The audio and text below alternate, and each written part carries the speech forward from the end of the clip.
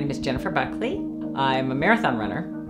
And so I've run 85 marathons and I had pulled something in my piriformis area. When I started coming to this clinic, I would leave knowing that my body had been worked and that things had been moved and realigned and changed in the aspect that I would now be able to use those muscles without the pain that I had existing prior to that appointment. After the appointment, it was always easier to do exercises. It was easier to get motivated to go on run because I knew that I would be able to go for extended, longer periods of time, as well as the fact that I had that positive influence that I was going to get back to where I was, if not further.